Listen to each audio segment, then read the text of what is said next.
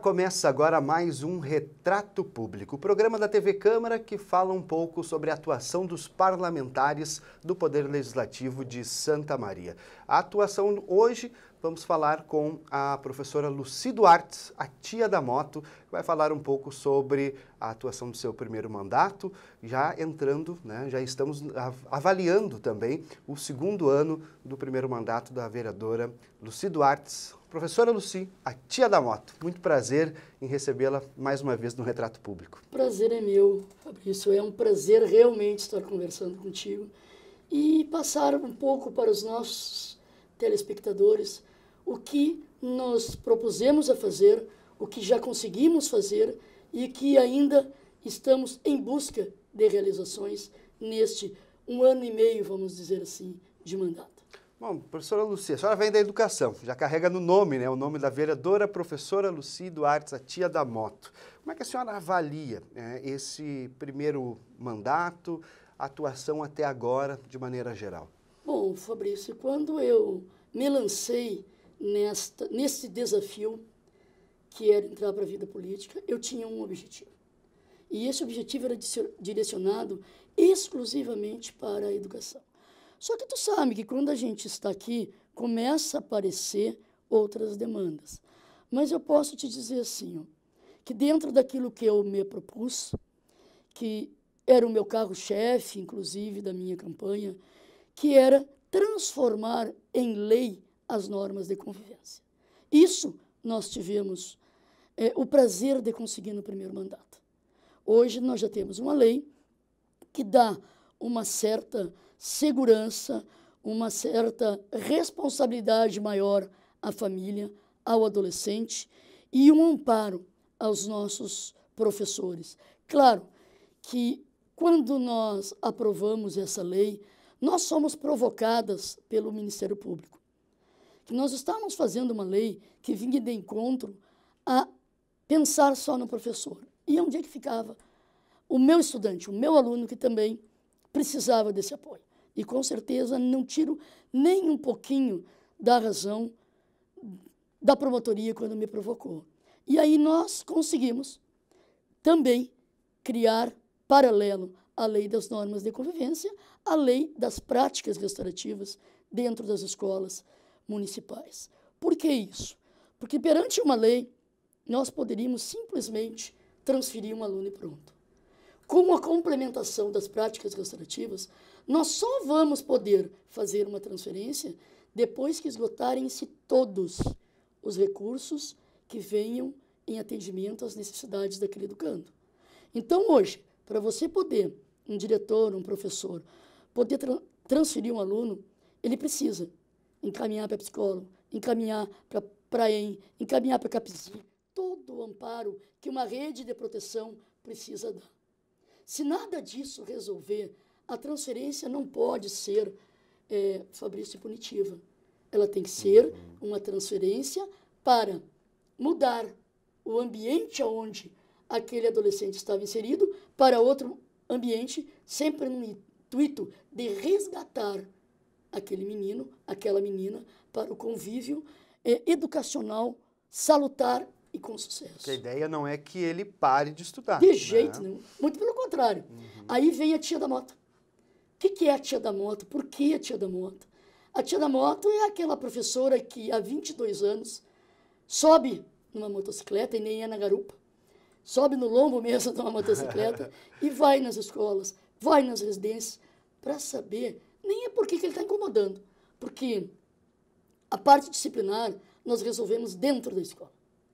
Nós vamos na casa, eu vou na casa do aluno, da família do aluno, para saber por que, ele não está indo à escola. Qual o motivo que levou ele a parar de estudar? Para trazê-lo de volta aos bancos escolares. E aí a gente monta uma estrutura em torno daquele menino, daquela menina, que venha sempre com o sucesso.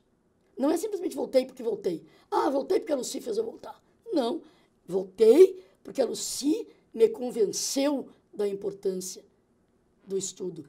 O meu filho está voltando, não é porque a Lucy está me ameaçando. A Lucy não ameaça ninguém. O meu filho está voltando porque a Lucy conseguiu fazer nós entender que se ele não tiver uma vida escolar é, atenta uma vida escolar que traga benefício, hoje, com educação já é difícil, com estudo já é difícil.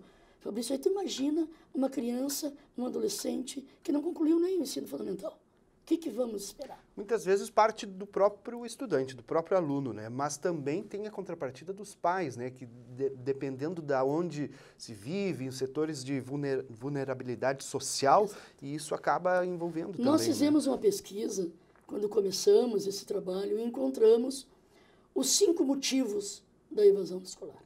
O primeiro deles é a desestrutura familiar. Este é o primeiro. É pai que se separou e foi embora, é pai que está preso, é mãe que... E aí não tem ninguém, porque tu sabe, tu já foi jovem, nós já fomos jovens, nós sabemos que se não existir uma atenção, um limite, nós perdemos eles. Eu tenho duas meninas e sei o que, que é isso. Que se não tiver cobrança, não são minhas filhas, como eu digo, eu não gestei elas, mas são do coração. E muito da nossa família hoje é constituída por responsáveis e não por pai e mãe gestores. Sim. E sim por responsável. Tio, tia, avó, madrinha, é o que eu acho errado, é a madrasta que demora, não tem nada. Mas é aquela pessoa que está ali dando aquele apoio.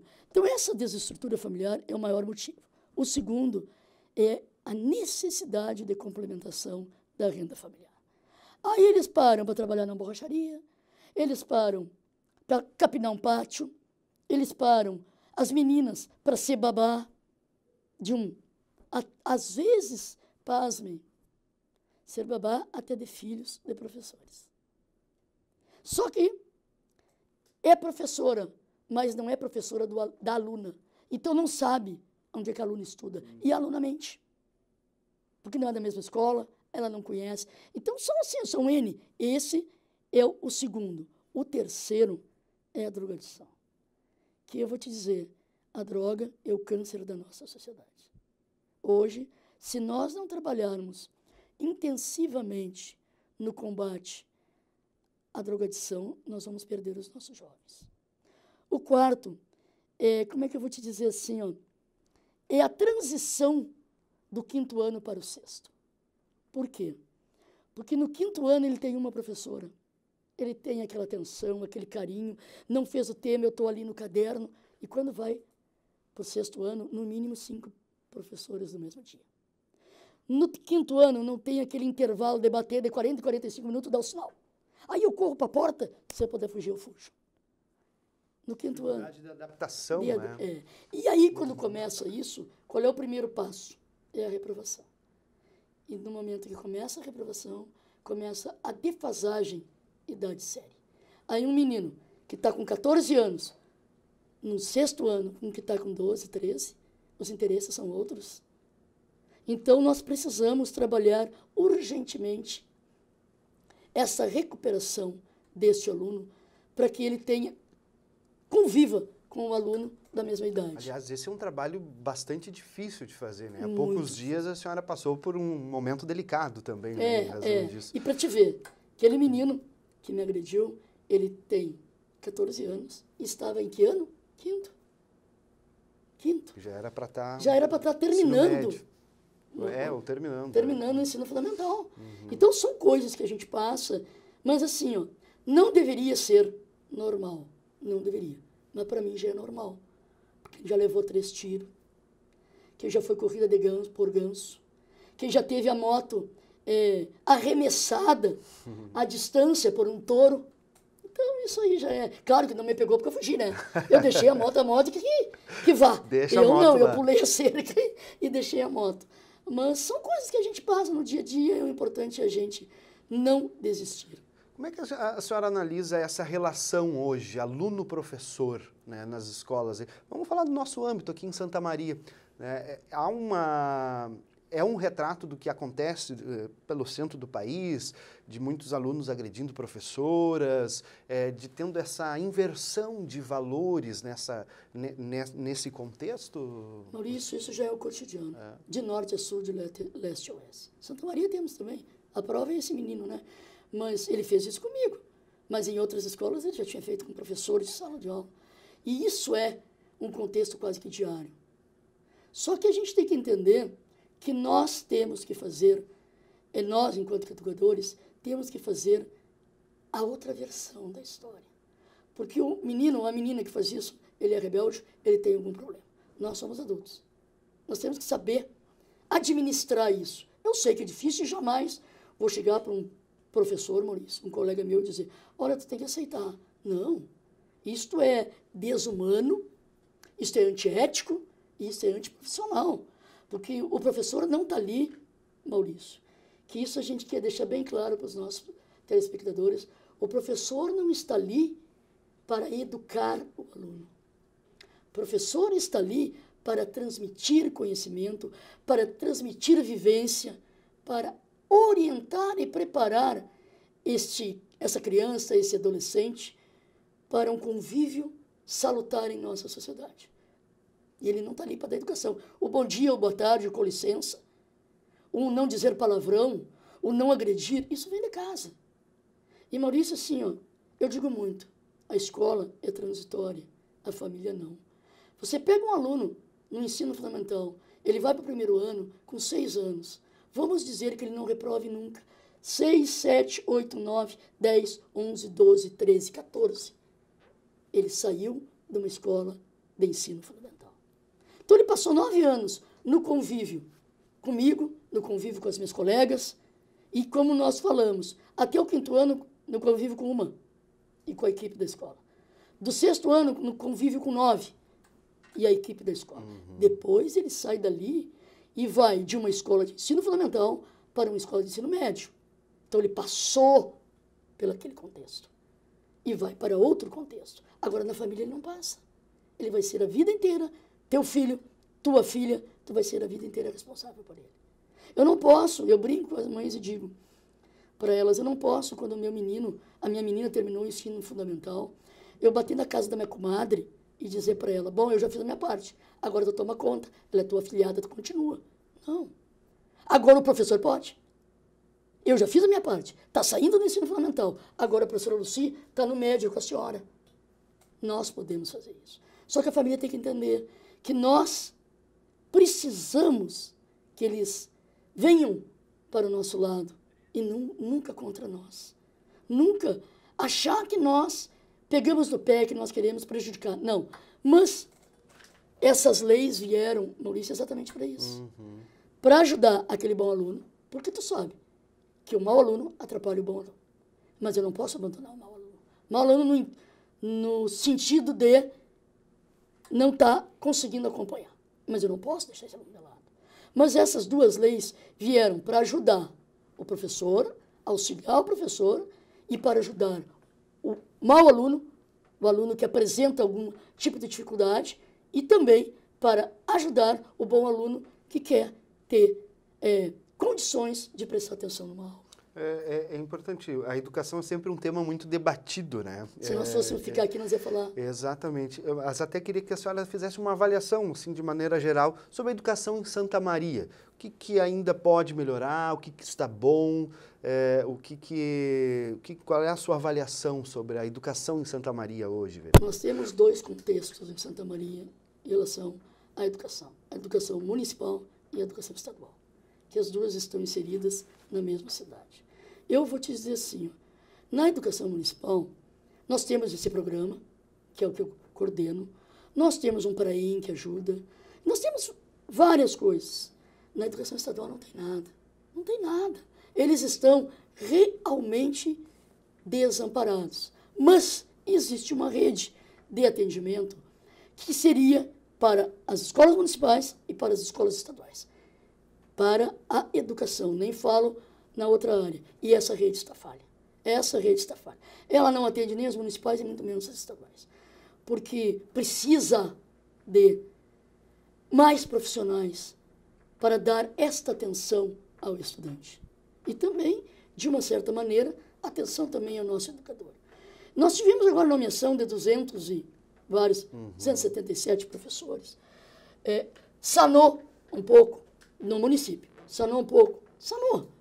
Mas ainda nós precisamos sentar, discutir, avaliar. Eu faço parte de uma Secretaria de Educação. Por isso eu me sinto, Maurício, na liberdade de dizer isso. Porque eu estou lá, mas eu sou professora. Eu sou há 33 anos professor. Nós precisamos estudar urgentemente uma maneira dos nossos professores terem hora planejamento. Porque como é que eu vou preparar uma boa aula se eu não tiver um momento de planejamento? Então, e não é planejamento, posso planejar em casa. Posso. Posso planejar a prova, o trabalho, o conteúdo a ser ministrado, mas eu não posso planejar a maneira de trabalhar sem o meu colega do lado. E eu não vou no sábado, domingo, ou eu ir para casa do meu colega, ou o colega ir para casa. Ou eu esperar o final do período e me sentar com o meu colega. Olha, nós trabalhamos em manhã, tarde e noite. Uhum. Nós saímos de uma escola para outra correndo. Então, como é que nós vamos ter tempo de planejar? E a lei é bem clara. O professor tem direito a quatro horas de planejamento. Então, ah, mas e a folga? Não, não é folga. E quatro horas de planejamento é o que eu vou trabalhar para trabalhar com o meu aluno. Agora, o planejamento pedagógico de uma escola, eu tenho que fazer sentada com meus pares. E aí, onde é que eu vou fazer isso? O aluno tem direito a quatro horas diárias? Tem. A LDB deixa bem claro isso. Ah, mas como eu vou fazer isso? Só existe uma maneira de fazer isso. É adequar com professores na escola que não tenham necessidade de participar das reuniões pedagógicas. E eles trabalhar com esses alunos. Existe, mas é que a gente sabe Enquanto nós estamos vivendo, Maurício, num país, num estado onde estão fechando escola, estão demitindo professores, estão fechando turmas, Santa Maria ainda está caminhando na contramão de tudo isso. Nós criamos 46 turmas novas. Nós nomeamos 270. Nós, eu digo. Uhum. O município, município, como um todo. Um todo. Uhum. 277 professores nós criamos 592 vagas novas. E nós estamos inaugurando, até o final do ano, duas escolas EMEIs novas. Então, nós estamos co correndo contra tudo isso que a gente está vendo. Agora, a gente sabe que para chegarmos a uma educação de qualidade, nós precisamos dar qualidade aos nossos educadores. Eu não vou entrar no mérito do aumento salarial, porque não foi, né? Foi uma reposição da inflação. E isso foi que tanto os professores quanto, quanto os funcionários. É obrigação do governo? É. Ah, mas não atrasou, não vai parcelar. É obrigação? É. Mas a gente está vendo o que está acontecendo de Brasil afora. Temos que cobrar os nossos direitos, com certeza. Mas também não podemos aceitar. Ah, não, ele está pagando em dia, ele não está atrasando. Uhum. Não, vamos junto. Isso é uma coisa que eu tenho a elogiar ao Sindicato Municipal, dar os parabéns às minhas colegas do Simprosp, a maneira com que estão conduzindo essa conversa. Até podemos tocar mais nesse assunto, professora Lucia. A gente vai ter que fazer um intervalo agora, mas em seguida a gente volta é, com mais um retrato público. Hoje, a nossa convidada é a vereadora Luci Duarte, professora Luci, a tia da moto. A gente vai e volta em seguida.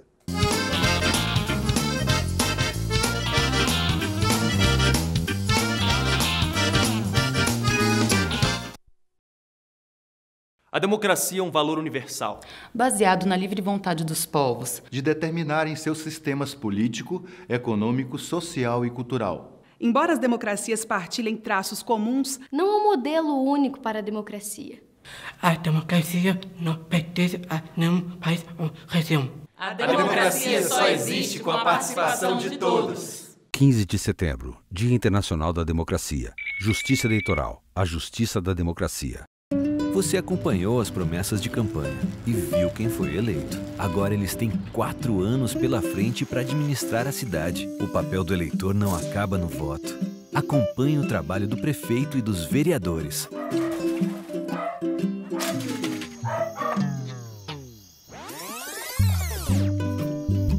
Cobre, fiscalize, participe. A cidade é sua. É de todos nós.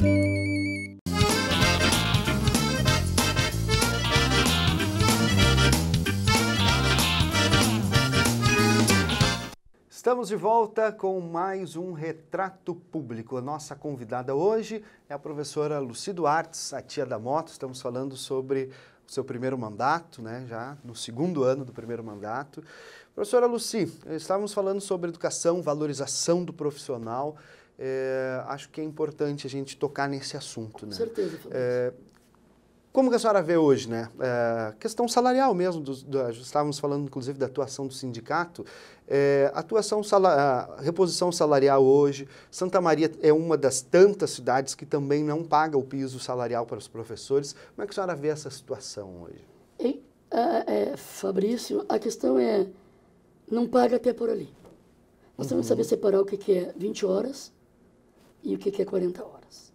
É, ah, esse, esse, piso é feito em cima de 20 horas. Ah, que no momento de, dele ser é, colocado em prática, vai pesar em cima de 20 horas. Claro que Santa Maria já fazem três anos que não dá o índice que o governo federal determinou. Mas isso não quer dizer que os nossos professores estão é, ganhando menos que o piso mas não está não tá ganhando índice. Uhum. Isso é, é, é, é, público e notório. É, o que, que eu vou te dizer? Nós temos que continuar lutando para que isso volte a ser colocado. Esse é nosso papel. O sindicato está tendo uma atuação, como eu falei no outro bloco, exemplar. Mas a prefeitura também está fazendo uma coisa que há muito tempo não era feita. Está aberto o, o espaço de diálogo e negociações. Eles nunca fecharam as portas, nem para debater a questão da hora de planejamento e nem para debater a possibilidade de um aumento maior. Já existe uma equipe montada para é, conversar, para debater a hora planejamento. Como daqui foi esse o prazo que a prefeitura pediu ao nosso sindicato, daqui a uns 20, 30 dias, vamos novamente sentar nas mesas de negociações e ver o que é possível. Eu jamais, jamais vou desistir de buscar mais e mais. Nunca além do que a lei permite. Gostaria, né? Quem não gostaria de receber, de poder colaborar com um índice de 10%, de 15% que o nosso sindicato pede devido às perdas? Claro que eu gostaria. Todos nós. Mas a gente sabe que isso é quase uma utopia. Mas vamos continuar lutando uhum. para aumentar esse índice. Vamos brigar, como o nosso sindicato coloca, para ajudar na arrecadação do município, com tributos. A gente sabe que a inadimplência é muito grande. Então vamos estudar junto uma maneira de Santa Maria ter uma arrecadação maior. E sempre pensando no nosso professor, no nosso funcionário. Com certeza. Uma das dos, dos projetos é, que a senhora apresentou e que agora é lei municipal, né, que trata, trata sobre os estágios na área da educação, né? Queria que a senhora falasse um pouquinho mais sobre esse projeto de lei que, que virou lei, né? Que virou lei. É, Fabrício, o nosso a, a, a, contratação de um estagiário, ele poderia ser contratado no EMEI, por exemplo. Uhum. Tá? Ele ainda no ensino médio. Quando ele passava para o ensino é, é, superior só depois do segundo semestre. Foi nesse sentido. Se tu pode, enquanto um aluno do ensino médio, ser estagiário numa escola de educação infantil, por que, que tu não pode ser estagiário no teu primeiro semestre de pedagogia, de educação física? De... Onde é que está a diferença? Só que aí entrava a parte da saúde. Tu não pode pegar um aluno do ensino médio e contratá-lo para estagiário na área da saúde. Não pode. A lei não permite. Uhum. Perfeito, e eu acho ótimo. Mas na educação, pode. Porque ele já tem aquela caminhada. E outra coisa, na área da saúde, tu vai estar lidando com problemas físicos, problemas emocionais. Problem... Na área da educação, tu é um auxiliar do professor. Tu vai estar ali para estar ajudando o professor, é uma turma de 20 alunos numa e-mail que não deveria, mas a gente sabe que existe. Tu tem junto contigo um estagiário que vai ajudar tu a tomar conta, nunca na parte pedagógica. Então é nesse sentido que a gente entrou com esse pedido de, dessa cláusula da lei, que a lei pudesse ser modificada apenas isso, que na área da educação, o estagiário do ensino superior da área que estivesse fazendo estágio, estivesse fazendo faculdade dentro da área do magistério, uhum. poderia, pode, no primeiro semestre, ser contratado. E ajuda muito na formação né, do, do, profissional, porque hoje a grande dificuldade é a prática, né? Com certeza. Como tem uma coisa que eu acho assim, ó, e a gente pensa também em entrar com um projeto de lei, sugestão, que é em relação ao tempo de estágio. O aluno, o, o, estagiário, fica dois anos pelo CIE. Depois de dois anos ele não pode renovar. Quando ele está realmente preparado, ele não pode mais. Nós tínhamos, há um tempo atrás, duas, duas instituições que faziam isso. Então, qual era o acerto com a prefeitura? Fico dois anos por uma instituição e automaticamente eu vou para outra. Uhum. Fico dois anos na outra, quem estava na outra vem para essa. Então, isso é uma coisa que a gente tem que estudar muito. Porque tu quer ver uma coisa? Nós temos muito estagiários, cuidadores, com crianças portadoras de necessidade especial. São contratados pelo CIE. Ele fica dois anos com um aluno que é autista. Quando aquele aluno começa a ter confiança nele, quando ele começa a transmitir segurança para aquele aluno, terminou, terminou o contrato. E aí é toda uma adaptação para uma criança que já precisa ser adaptada 24 horas ao dia. Aí como é que eu vou justificar para a mãe que hoje o estagiário é o Fabrício? E que o ano que vem não vai ser mais o Fabrício, vai ser o José, vai ser a Maria. Ah, mas o meu filho se dá tão bem com o Fabrício. O meu filho adora o Fabrício. E o meu filho é uma criança especial. E aí vai perder. É mais uma perda na vida de uma criança que já teve tantas perdas. Uhum. Então a gente tem que estudar muito isso e tentar modificar também. Bom, além da educação, vereadora Lúcia, a senhora também atua em outras áreas, né, aqui na Câmara de Vereadores. Entre elas, foi a comissão especial que analisou a lei dos táxis, né? É, o que, que a senhora tem como é, nos dizer para nós desse trabalho da comissão também, a lei dos táxis, que volta né, a discussão agora novamente com a questão dos aplicativos, a questão é, de, daqueles profissionais que não, não são os permissionários. Né? É, o que, que dá para nós falarmos sobre esta parte também? Olha, Fabrício, ó, nós analisamos ponto a ponto. Eu, como presidente, o vereador Juba e o vereador Daniel Diniz Fizemos várias visitas em ponto de táxi, chamamos para conversar também os, as, o pessoal estava querendo o garupa. Uhum. Eles vieram, conversaram, os taxistas vieram, nós fomos em ponto de táxi. E aí ali a gente viu algumas modificações na lei que poderia ser sugerida. E em relação aos aplicativos, é, a gente não. Ela é ilegal porque nós temos uma lei. Eles não conseguiram nos é, convencer que da legalidade, até porque não compete a nós isto. O que, que nós fizemos? E ontem você pôde ver na tribuna o Arruda colocar isso. Nós fizemos um relatório extenso e entregamos em mãos.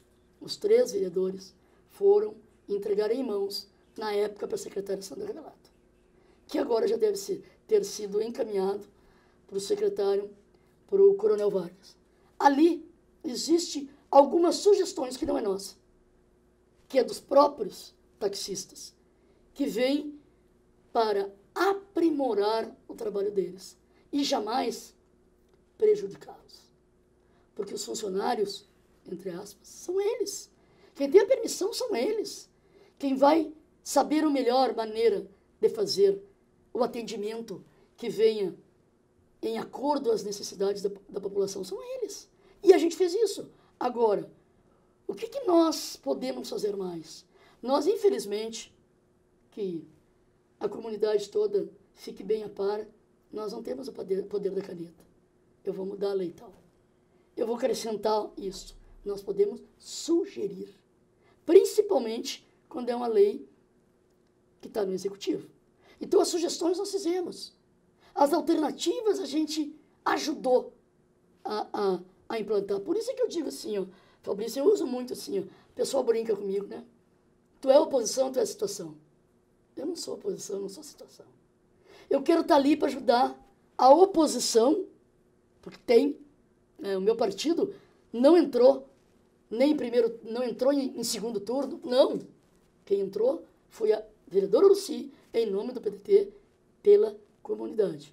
Se o pessoal do bloco da oposição tem eh, sugestões que venham a atender às necessidades, eu estou com eles.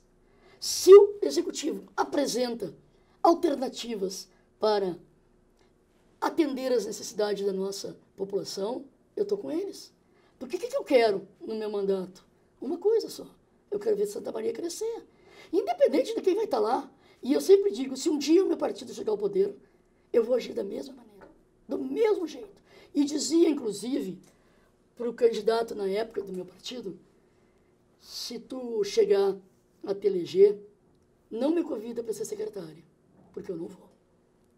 Porque secretária fica bitolado aquilo que o prefeito per permite fazer. E o vereador tem que ter a sua liberdade para defender aquilo que acredita e a defender o povo. Não só o que colocou ele ali, mas o povo que hoje depende também da votação de quem ele não colocou.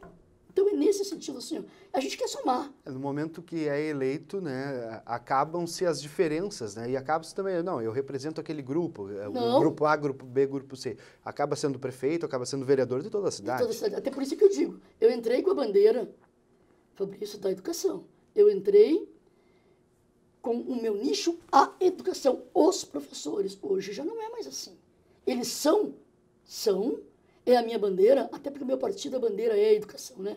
São é a minha categoria, mas eu não posso esquecer que eu tenho um buraco na rua, que eu tenho uma ponte caída, que eu tenho uma lâmpada queimada. Eu não posso esquecer isso. Eu estou aqui é, para defender o melhor para a comunidade. Automaticamente, você defendendo o melhor para a comunidade, você vai estar defendendo o melhor para a sua cidade. E essa é a minha função. Que uhum. É a maneira que eu encontrei de, de trabalhar. Falando em representações, é, vereadora Luci, qual a sua opinião sobre a participação da mulher na política? Hoje se fala muito na ampliação da, da, da participação da mulher e se pede bastante da ampliação. Existem cotas, né? É, vamos dizer cotas entre aspas, né? Para as mulheres serem, serem inclusas nas campanhas, pelos partidos. Assim, é, mas mesmo assim a gente vê um número ainda bastante reduzido né, é, de, de mulheres representando, é, representativamente né, dentro das bancadas. Hoje, dos 21 vereadores, quatro são mulheres. Né? É, como é que a senhora vê essa situação? Aí? Eu vejo de, do, de dois lados. Primeiro, os partidos não valorizam a participação da mulher. Na grande maioria, só procura mulher para fechar a cota. Tem tantas mulheres para tantos homens. Então, se não tiver esta, diminui o número de homens. Então, nós temos que buscar uma mulher só para cumprir a cota. Isso é o maior erro. Segundo, a própria mulher é, se coloca do lado de fora da política. A própria mulher se coloca de uma maneira que não quer debater a política. E a gente está vendo que se nós fôssemos analisar friamente em relação à população, a população feminina é muito maior. A mulher teria condições se unida comandar esse país, comandar essas cidades, comandar esses estados. Porque 57% da população brasileira é composta por mulheres. Então, não é coerente. Se você pegar a Câmara dos Deputados, quantas mulheres tem? Se você pegar a Assembleia Legislativa, prefeituras, câmaras de vereadores. É muito pouco. E eu te digo, quando a mulher se une, a mulher tem uma capacidade que muitas vezes os homens não têm. Até porque ela sabe melhor que o homem, não estou dizendo que o homem não saiba, mas pelo, aquela coisa de ser mãe, de gerar nove meses um ente dentro dela. É, ela tem aquela capacidade de conseguir unir com muita maior propriedade a emoção e a razão. Então, quando a gente senta, e aqui a gente vê isso, sentamos às quatro para debater uma lei, nós não pensamos, ah, a professora Luci é do PDT, a professora Celita é do PT, a professora, o, a doutora Daly é do PTB, a doutora Cida é do PP. Não, nós pensamos em fazer aquilo em nome da comunidade. Porque para nós isso não foi o caso. Tanto que a prova que quantas leis, e agora nós estamos defendendo junto, eu e a professora Celita, nós fizemos em conjunto. Nós sentamos para fazer em conjunto. A doutora é, Cida, quantas vezes a gente já não debateu junto? Então nós temos é, a capacidade de deixar um pouco esse ranço de lado e sermos proativos em nome de uma política que venha realmente de encontro. E isso não é que o homem não saiba fazer. Ele sabe, eu, eu, eu assim não tenho problema com nenhum vereador aqui dentro, independente de ser situação ou oposição. Eu sento com vereadores do PT, eu sento com vereadores do PSDB, com, com todos, para a gente conversar sobre o que vem de melhor, para debater. Mas às vezes a gente vê assim, ó, que um discurso mais é, ríspido numa tribuna uhum. acaba dando uma certa tremida nas relações. E a mulher dificilmente vai fazer isso. Então, nesse sentido, assim, eu acho, eu penso, é, de coração, que se nós tivéssemos mais mulheres dentro da política, nós teríamos uma política mais igualitária e que traria um melhor, é, uma melhor resposta à nossa sociedade. Uh, vereador, a gente está um ano e meio dessa legislatura, né? ainda temos aí dois anos e meio pela frente. Né? Uh, qual é a sua meta até o final da legislatura uh, enquanto parlamentar? Né? Eu sei que a senhora tem vários projetos em mente, claro, não precisa abrir todos eles, mas qual é a sua meta, assim, como terminar o meu primeiro mandato dessa forma? Primeiro, terminar o meu primeiro mandato, meus quatro anos de mandato, ou o tempo que ele assim durar, é com a certeza que a minha passagem por aqui não foi em vão. Que eu contribuí com o crescimento de uma sociedade de Santa Maria. Esse é o maior objetivo. Claro que a gente tem, como você falou, alguns projetos, a gente tem algumas ideias. Nós temos agora já, a nível de análise, um projeto, uma PL, que vem de encontro a liberdade do morador poder identificar a sua rua. Porque hoje eu não posso comprar o material adequado, fazer uma placa e botar na minha rua. Com a lei, a gente pretende que tenha um padrão, que tenha cores, que seja tudo padronizado. Mas que você, Fabrício, morador, é, do Monte Belo 2, que não tem identificação nenhuma, você possa, junto com os seus moradores, fazerem a placa e colocar. Porque hoje a gente vê muito assim, ó, o correio chega na casa do Fabrício, entrega aquele pilha de, de, de correspondência e o Fabrício conhece os moradores. Aí o Fabrício vai, final da semana, entrega pronto. Porque o correio não sabe onde entregar, mas sabe que o Fabrício é dono do estabelecimento pequenininho comercial, do botequinho que está ali. Então eu vou deixar no botequinho, todo mundo vem no botequinho. Então todo mundo vai pegar no botequinho. Aí a gente bota muitas vezes em constrangimento um morador. Porque tu sabe identificar no envelope se é cobrança, se é multa, se é simplesmente uma carta. Bah, olha aqui, ó. Isso aqui é multa do Fabrício. O que, que o Fabrício andou fazendo? Tu acaba constrangendo uhum. o teu vizinho e o teu vizinho fica um tanto quanto constrangido. Agora, se nós tivermos as nossas ruas identificadas, o carteiro vai chegar correto na tua casa. Isso é um objetivo. Isso é uma das poucas, das muitas coisas que nós ainda queremos fazer em nome de Santa Maria. E a, mas o principal é não vim em vão. Não vim simplesmente para estar dentro do meu gabinete assinando documento se você vê, eu não compactuo com os meus assessores ficarem lá dentro. O lugar deles é na rua. O lugar deles é procurando demanda ou estar fiscalizando o trabalho do executivo. Pô, não tem cabimento o que aconteceu, e a gente sabe, de você ir pintar um meio-fio de uma calçada e pintar grama em vez do meio-fio porque o mato estava alto. Pô, primeiro vamos limpar a calçada para depois limpar, para depois pintar. É dinheiro fora, é serviço fora. E é uma maneira também de dizer que a prefeitura não está fazendo nada. É, é um trabalho que acaba desgastando ainda mais o poder público. Com certeza. Vereadora Lucia, a gente teria muito papo pela frente ainda, é, mas infelizmente nosso tempo acabou. É, a senhora tem mais alguma consideração que gostaria de fazer? Só agradecer a vocês e dizer publicamente, nesta casa nós conseguimos trabalhar sem o ranço da situação oposição. Todos que estão aqui, principalmente aqueles funcionários e aqueles cargos de confiança que estão aqui, estão todos, sem exceção, para servir ao vereador, não, Fabrício, ao seu vereador. Não para servir a quem lhe indicou. Todos estão aqui para servir os 21 vereadores. E isso me deixa tranquila e feliz com o trabalho que estou fazendo.